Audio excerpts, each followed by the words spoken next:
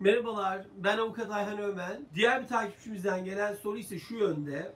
Ben, eşim ve çocuğum ABD'ye göç etmenin yollarını arıyoruz.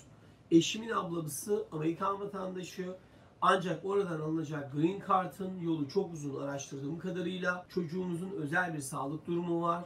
Bu sebeple bu yıl ameliyat olmak için Amerika'ya turist vizesi ya da medikal vizeyle gireceğiz. Sonrasında orada kalmak istiyoruz. Bunun yolunu çizme imkanımız var mıdır diye bu takipçimiz soruyor. Şimdi şöyle söyleyebilirim. Sizin buraya turist vizesiyle geldikten sonra daha uzun süreli kalma ihtiyacınız doğarsa ve planınız oluşursa bu sefer tavsiyem şu noktada olur. Eğer siz ya da eşiniz bir yatırım yapacaksa yatırımcı vizesi üzerinden gitmeniz mantıklı olacaktır.